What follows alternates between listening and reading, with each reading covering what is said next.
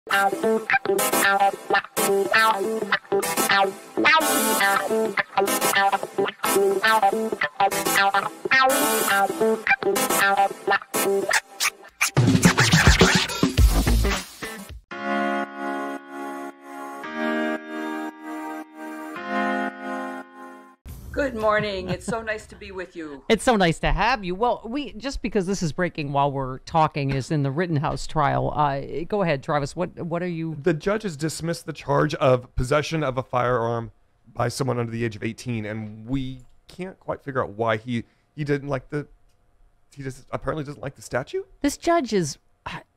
I don't even know what to say, Jill. This judge is a disgrace in this Rittenhouse trial. I mean, th- this makes no sense legally. Just that part of it, right? It, it's I, I am losing faith in this judge. Um, this decision seems incredible, and the timing of it is incredible. There's nothing much that anyone can do on the day of instructions and closing arguments to appeal his interpretation of the Wisconsin law, saying that it's vague, um, which seems to be what he's saying. When throughout this trial, it's been quite clear that a 17 year old was physically shown to be in possession of an AR 15. And there doesn't seem to be anything in the Wisconsin law that makes me question that he violated that law. So, how he could not be charged with illegal possession seems to me uh, uh, you don't have to buy the gun to be Right. in possession of the gun. Uh, people are charged Well- with possession of stolen guns. Well, someone said, like, I, I don't think it's the winning argument conservatives think it is that, oh, he didn't cross state lines. It was an illegally purchased straw purchase of a gun, is a stronger, yeah. But I mean, I think Claire McCaskill made the point yesterday on Meet the Press, Jill, that it's just this trial in the Ahmaud Arbery uh, tragedy, it's just, it, these trials seem to be about the hunting of people and whether we're okay with vigilante justice. Well, it's yes, they are both vigilantes. There's no question about that. The judges in both cases have done some things that are quite stunning. Um, in this case, the the Rittenhouse case, the judge's ringtone. Now, first of all, Yeah. the judge's phone going off twice during the trial. I mean, who has their phone on Right. when Yeah. they're the judge? Who? I mean, it's illegal for any other party to have the phone on. Right. But you know what his ringtone is? Yeah, the Trump rally song. It's fantastic. Exactly. it is the Trump rally song. Yes. And he has done so many other things that I find show a bias. His attack on the pro totally ignored. Um, he has really shown to me a bias, and I think it's dangerous.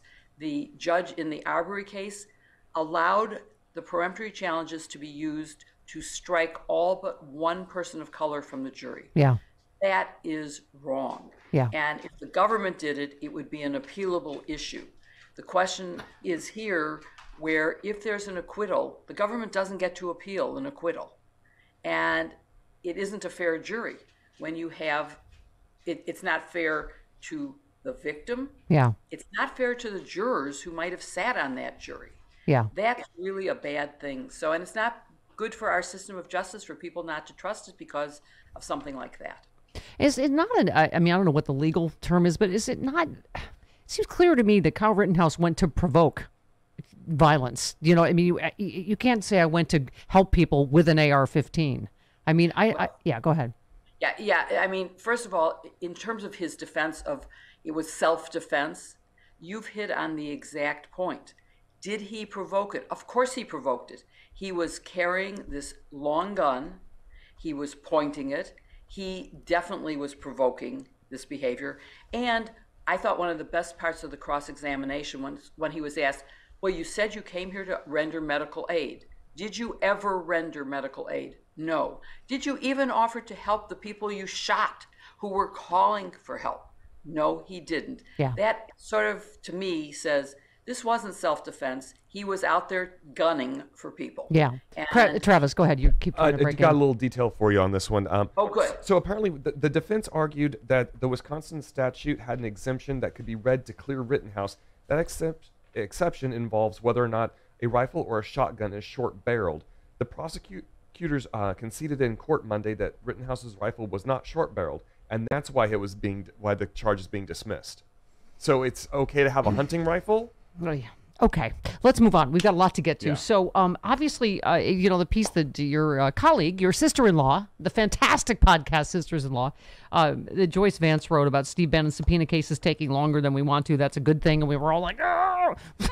um, but you sort of reaffirmed uh, what she said about this new. You said this may be, may be why it took so long to indict Bannon, which means future referrals to U.S. Attorney Graves will only take days, not weeks. Hooray for prompt justice, the rule of law, and three co-equal branches of government. So he was only uh, he was only sworn in last Friday. So that's part of why Jill was urging, or excuse me, Joyce was urging us to stay calm, right?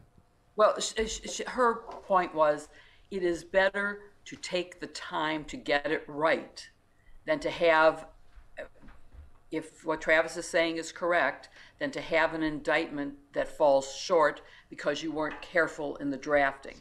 And it also is important to have the right people signing the indictment. And this was Graves, the new U.S. attorney appointed by Biden, who signed it. And it, it could be that they just waited until then. Um, you know, I I shared everybody else's anxiety about why is it taking so long. This is a clear-cut case, and the indictment itself of Bannon is very well crafted and lays out all of his what I would call contempt, not just the in the legal sense of contempt of Congress, but his contemptuous behavior Yeah. toward Congress in not showing up.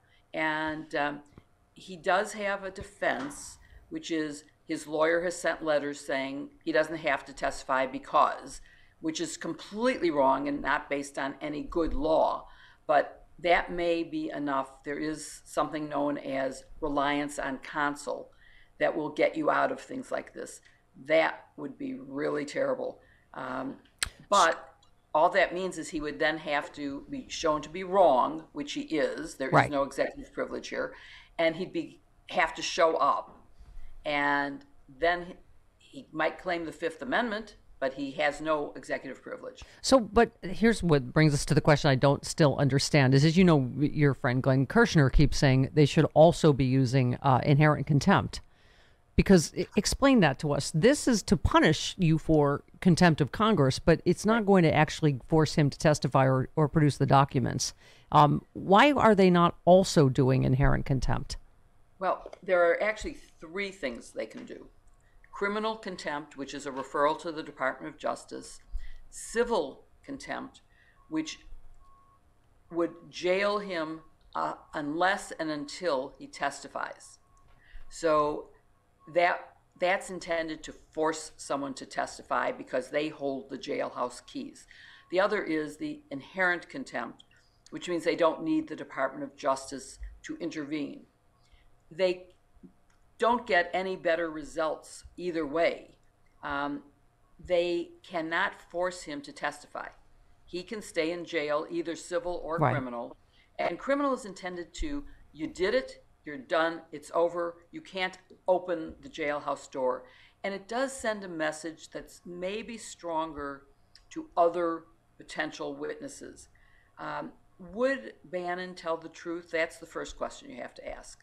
And based on the fraud charges that he got pardoned for by President Trump of defrauding Trump supporters by saying, Give me your money and we'll build the wall for you Right. because the government's not doing it. And then he kept the money, he didn't use it for that purpose. Uh, there is no wall being built. He's probably very comfortable lying.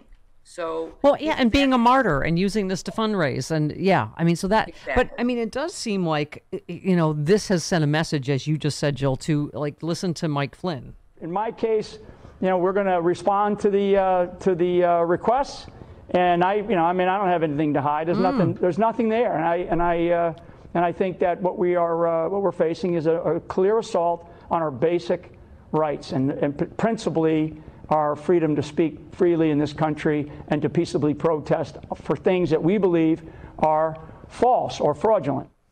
Okay, but the good news is the the Bannon indictment has made them stop at least yucking it up on Fox News and saying we're not going to cooperate in any way. So at least he's saying, you know, it's but it hasn't stopped Bannon from having his own podcast in which he keeps repeating the same old lies. Yeah. Um, he's he's he hasn't stopped one bit.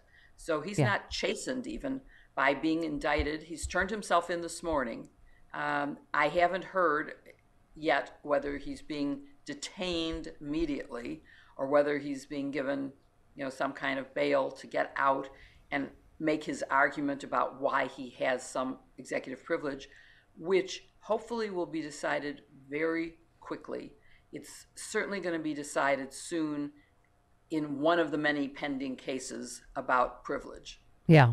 Um, okay. So, speaking of which, uh, you commented on him saying this weekend if we're going to have one nation under God, which we must, we have to have one religion, one nation under God, and one religion under God. And you just said this is appalling and totally contrary to the First Amendment. I mean, I, it is just, you know, people think you're being hyperbolic when you talk about them wanting to have a theocratic autocracy or eh, fascism. I- I- And, you know, we go, no, listen to them. Believe them when they when they say something, right? It, it that was one of the worst things I've ever heard, and someone I'm sure deliberately misinterpreted my reference to the First Amendment, which was meant to say we have separation of church and state. We cannot have one religion, and we cannot establish a religion as being freedom of speech, Yeah. which is not at all. He can say whatever he wants. It's just the scary thing that he's trying to encourage the establishment of a theocracy. And um, autocracy is already long in Yeah. danger. Uh, I just interviewed um, for iGen Politics podcast Fiona Hill, who agrees with me that we are in 1930s Germany right now and that it can happen Well, here. you retweeted uh, Mehdi Hasan, who said we've reached, reached the book burning stage of right wing American authoritarianism, and you said it can happen here. It is happening here. What are you doing to stop it? Um, by the way, your bookings are getting worse for that because I am booked with you on Next Gen Politics after Fiona Hill. I, we are so excited to have you as our guest. Are you kidding me? We're the, thrilled. the uh, brilliant young uh, UCLA kid that you do it with, uh, I said, you know, I should be your enemy for life because I graduated from USC, but you use the, the magic words, which are Jill Wine-Banks. So I said yes. it is. he told me and and i hope you'll get to meet him because you know he's now he's actually on campus now last year Yes. he did his first year from his bedroom in buffalo grove now he's Right. on the ucla campus Well, that's fully in enemy territory for me, but all right.